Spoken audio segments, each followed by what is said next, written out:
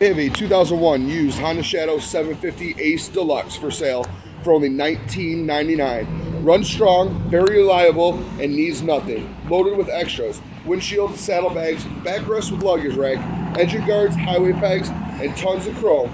Great bike for only $1,999.